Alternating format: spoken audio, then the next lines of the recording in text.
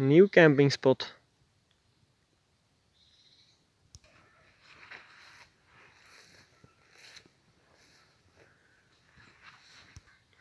So after many camping trips, the waterproofing is still hold up and is uh, very durable.